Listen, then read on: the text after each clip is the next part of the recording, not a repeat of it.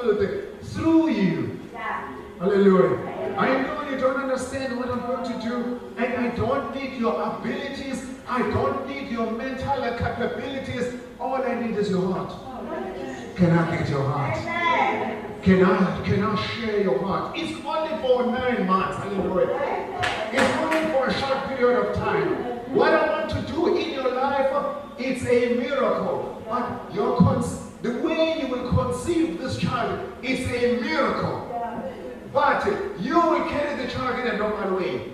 In a way that everybody knows, but the conception is going to be me because no one, it has never happened any time before in history that a virgin gives birth. Hallelujah. Would you be available? Would you allow me? Would you would you allow me to get into your body and to perform a miracle? Would you partner with the Holy Spirit?